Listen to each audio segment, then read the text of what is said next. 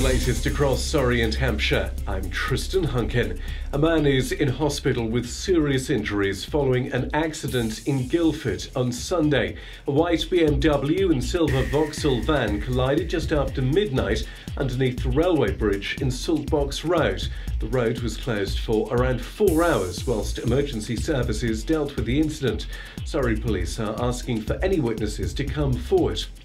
Next, meet the Lib Dems' new parliamentary candidate for Guildford. Zoe Franklin previously served as a councillor for six and a half years in the Stoke ward. She faces tough competition from long serving Guildford MP Anne Milton. The Liberal Democrats haven't held a seat here for over 10 years, but Zoe says she wants another option for locals.